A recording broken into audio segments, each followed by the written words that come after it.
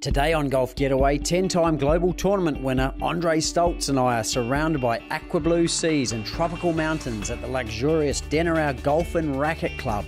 I check out the unique Sheraton Resort, and I think we may have had a few too many Fijian rums.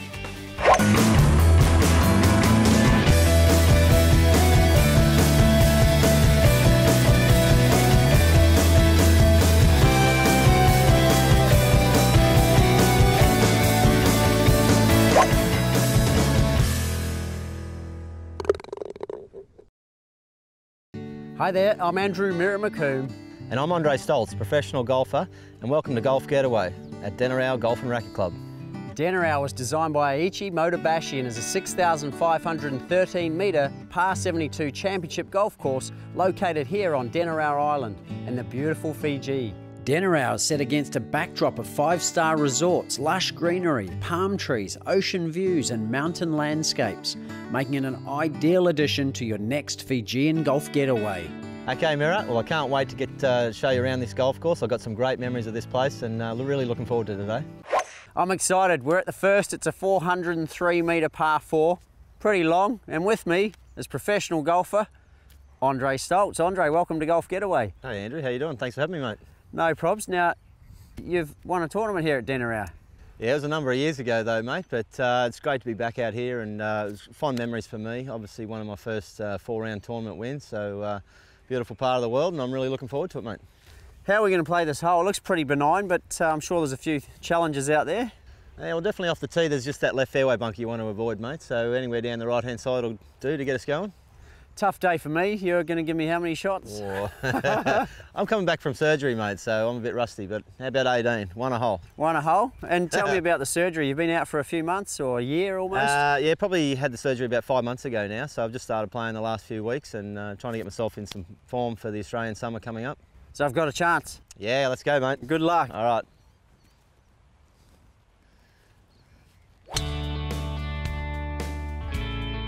Straight down the guts. Oh.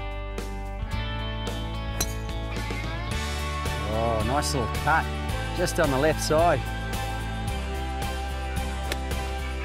Oh, that's straight at it. Nice shot. There you are. Yep, green and red.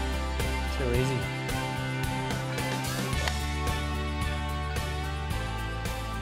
You caught that nice, mate. You've been to Fiji a fair bit, uh, Stolzy. Yeah, mate, uh, a long time ago, but we came out here for about a month. Uh, it used to be a tour called the South Pacific Tour uh, during the Australian winter, so it was, uh, it was a pretty tough gig, mate. All right, well, good luck with the 10 footer.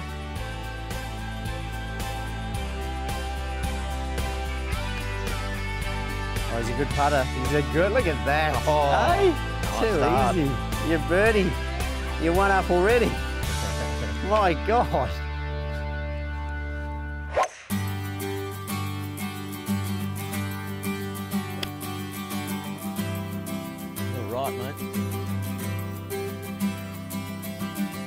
That's not eh? mm. a bad shot though. Yeah. Lovely shot. Might even be inside mine. Hoping it is. Oh, look at that.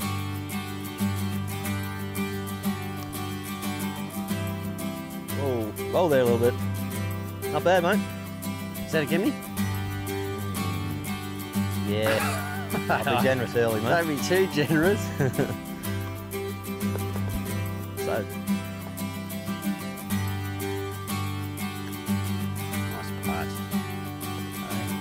Two up after two. it's a hot start, isn't it. You're going to have to lift.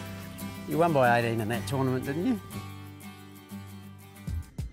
This tip from the pro brought to you by Golf University, the world's premier golf improvement program. Stolzy, Sonny from Nattendale, he's having issues reading breaking putts. What would you recommend? Well, I think this is a real simple drill here. I've just got two coat hangers that I've cut and a brick line string. Basically set it up on a putt that's got quite a bit of break. Um, and the trick is there, here is just to move yourself up and down the line, uh, standing over the putt, and don't worry about the hole too much, and just try and hit it straight down the string line. And at a good speed, that only just went in, so I probably need to just move a little bit further away, which will allow the ball to go right in the middle of the hole.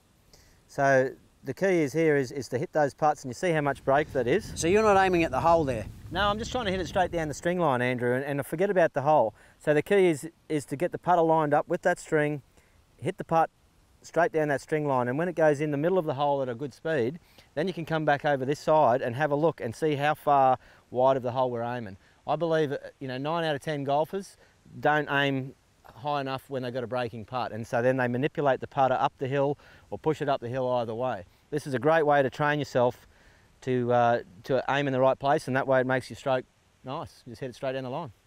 For more great golf tips, including the free three steps to chipping mastery video series, visit golfuniversity.tv. The fourth hole at Denarau is a 389 metre dogleg right par four. It's lined with water down the left, got houses, luxury houses on both sides, famous here at Denarau. Stolzy, you've played and you've won almost every tour around the world bar one. You must have met some great players over the time. Yeah, certainly have. I've been pretty fortunate, and uh, probably one of my fondest memories was getting uh, to meet Phil, Phil Mickelson at the uh, 2004 Canadian Open. So it was pretty cool. And tell me about that one. Yeah, well, I guess it started on the Saturday. Uh, we're both warming up uh, for the for the tee off time on the practice putting green, and uh, we weren't playing together that day, particular day, but um, he was using a new prototype ball and uh, just happened to roll up next to the same hole I was putting to. And uh, I don't know what came over me, but I just decided to pick him up and stick him in my pocket and started pretending I was stealing him, walking off the green. And uh, he's yelling out, "Hey, what, you know, what are you doing?"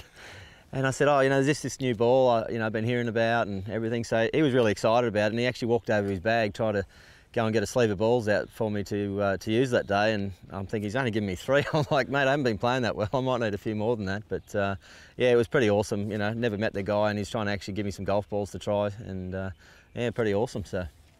All right. Well, good luck. All right, mate.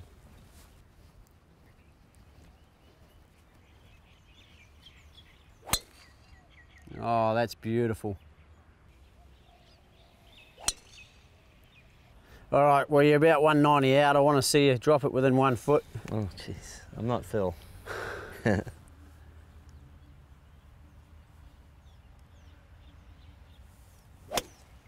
you sure? He's straight at it. I'll end up all right. I've heard mixed reports about Phil. Is he a good guy or a not so good? Oh, mate, he was awesome for me. Uh, you know, I was lucky enough to play with him about three times in the end. And, uh, you know, that day in Canada, I hadn't been playing all that well. And he was uh, trying to pump me up full of confidence and, and, tell me it only takes one good week to, to turn your year around and, and all that stuff. And uh, you couldn't believe it. Four weeks later, I actually won in Vegas. Um, so life-changing week for me, obviously, winning on the PGA Tour. It was a you know, childhood dream. Uh, and you know, in the end, I saw Phil about probably three or four months later. I hadn't seen him since my win, and uh, he, he, came up to me in Phoenix and, and, was was reminding me about things that had happened that day in Canada, and, and he was great. And he just uh, he knew everything about that that had happened that week. Uh, so he'd actually sort of been following my career since that day. And uh, as I said, I just I couldn't say enough good things about him. He was awesome. All right, well you got a one footer for the par. All right, mate. Easy, easy. Beautiful. Paul, we're playing at Denarau, but we're staying at the Sheraton Westin Resorts Fiji. What a unique setup. Yeah, what a great setting uh, for people staying here in Fiji and staying at the Sheraton and the Westin. Um, we offer everything from the golfer to the family um, to enjoy their time in the pool here at the resort, but also then dad can also have a game of golf. Um, Mum can come here to the spa that we're sitting here right now um, and enjoying our time in Fiji.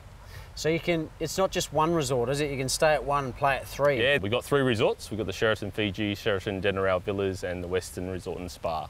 Um, that offers three resorts for people to choose from. They can dine at any resort here um, and um, stay at one and the kids can play in all three resorts. We have about seven swimming pools, seven restaurants. And it's all in one spot, isn't it? Yeah, it's, it's all right next to each other, which is an advantage too, because they can walk freely, um, choose their spots each day, depending on where they're choosing to swim or eat or even play golf. And the golf course is actually across the road from us as well. So as a complex, we have literally have four um, places for them to enjoy themselves.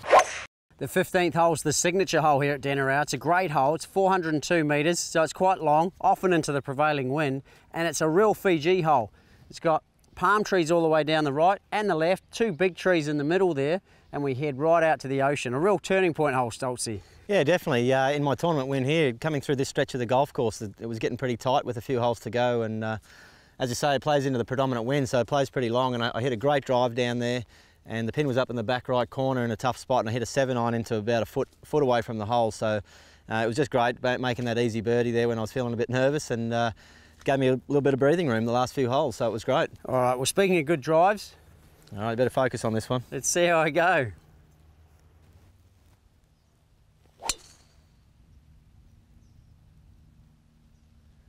Little up the right, but that'll be all right. Oh, monstered. I'll take that one. Great club head speed too through that.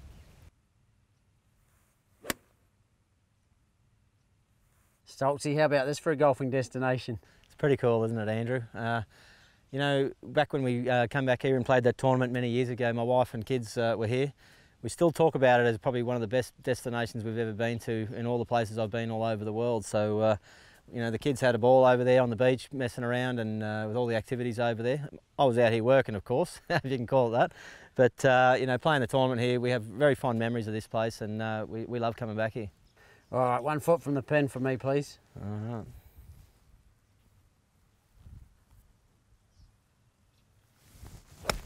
Oh, sounded good. Oh, it's all over it. Coming in nice. Nice.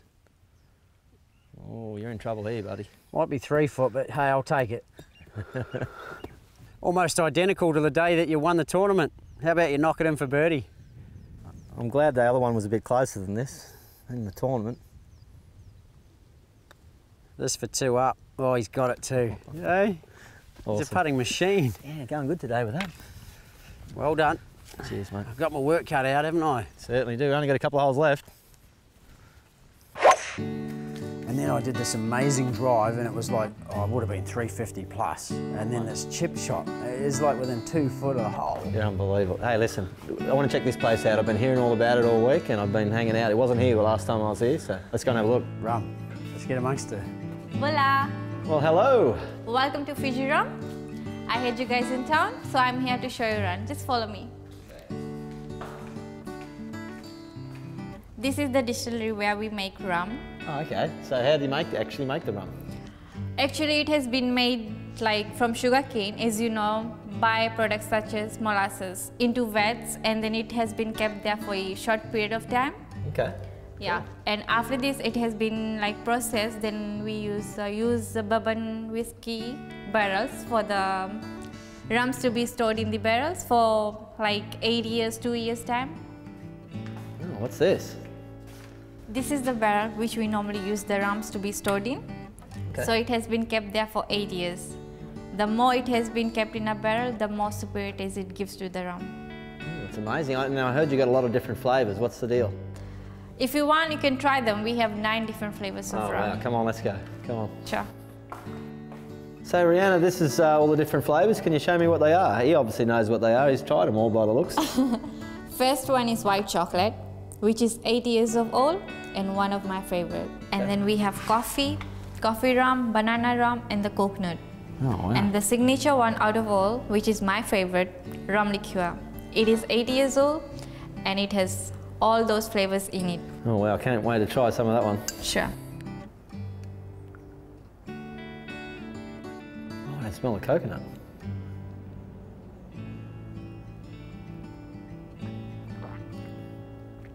That's beautiful dark chocolate in there. Yeah. Bit of coffee. What else is that I can taste in there? Orange. Ah, is that what it is? That's beautiful. Mm. That's the signature one. Well, Mirror, that was amazing. I don't normally drink much rum, but I tell you what, I loved it. Hey, hey, hey, yeah, well, that's enough. You've had enough. Look at all this. Time to go, babe. We really enjoyed ourselves, but I think it's time. Come on. Okay.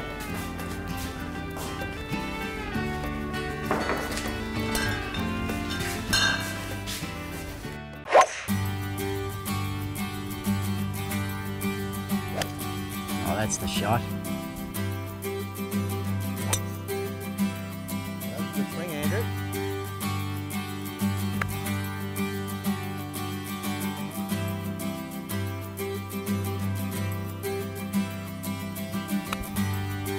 Oh, Andrew. Oh, kick up. Tricky shot, mate. Have to go under that tree, ah. oh. over the bunker. Oh, not this time, Stolzy, but you can have it. Thank you, sir. Hey, you're still two up though. Yeah, it's getting tired, isn't it? We've arrived at the 18th. It's a 472 metre par five. We've got hazards down the middle and up at the green. Big water hazard down the right and a hotel on the left. Stolzy, I believe I won the last hole. Yeah, it's gotten pretty tight this match of ours, hasn't it? So uh, I've only got one up my sleeve coming down the last hole, so it's game on, brother. What's the best finishing hole you've ever played? Uh, probably uh, besides this one, the uh, 18th hole at Pebble Beach. So it's uh, just a magnificent hole along the ocean there. So. All right, well, let's see how we go on this one. So I'm one down with one to play. All right. Well, that's going to play. All right, just going to hit an iron down here. Mirror's on my tail. I only got one shot to play with. Great ball striking there, Stolzy. The safe play. Other than this, Stolzy, what's your most memorable finishing hole? Probably uh, Royal Canberra about uh, year 2000. I was playing the Tour Championship there and uh, needed a perfect drive down the middle, which I did, and then I hit probably one of the best three woods of my life from uh, the middle of the fairway right into the heart of the green. So it was uh, just when I, what I needed, a couple of good shots at the same at the time. 150 out, mate. Go for it. Trying to draw on some positive memories here of that that hole, so try and shut you out.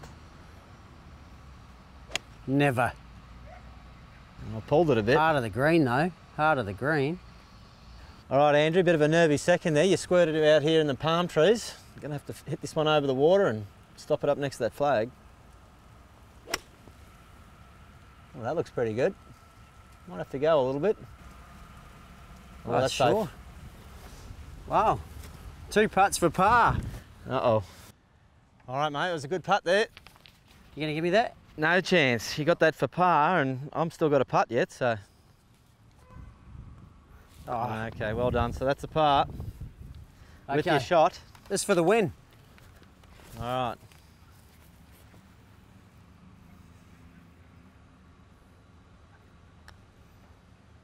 Oh, yes! Oh, you got me. Finally, geez, Hey? you made me work for it. Thanks for that, mate. Really enjoyed it. Thanks for showing me around Denarau Golf and Racquet Club. Let's go and have a drink. Sounds good, mate. Well Beautiful. played. Geez, you pushed me all the way to the end, didn't you? Hey? Even with my 18 shots. Yeah, you're off 15 next time, I reckon. Stolzy, Dinner Area Golf and Racket Club. What do you think? What a great uh, few days we've spent out here. It's been awesome, hasn't it, mate? Hasn't it? It's uh, such a forgiving golf course, isn't it? Yeah, I like that. A little bit friendly off the tee, but uh, you, you know, with the wind around, you've got to hit some great iron shots in there to get close. And uh, just uh, had a, had some great memories here from years ago, and uh, really good to get back here. How about your putting today? Unbelievable, wasn't it? So uh, good, good for the uh, good for the show to make some putts. And I don't do it in tournaments actually lately, so it's uh, nice to do it anytime. Well, you gave me no chance, but 15 too, a memorable hole for you. What a what a visually spectacular hole that is. Yeah, you sort of got a bit of a hint that you're getting close to the ocean at, at some point there as, as you play around this golf course and, and heading out to the 15th, that, you know, walking up onto that green, it's just awesome looking over the beach there and not many places in the world you can see that.